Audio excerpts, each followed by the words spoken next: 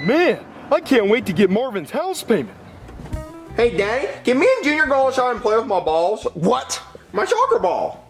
Uh, oh, yeah, sure. As long as you're playing with that ball and, and not something else. All right, Daddy. Who's at the door?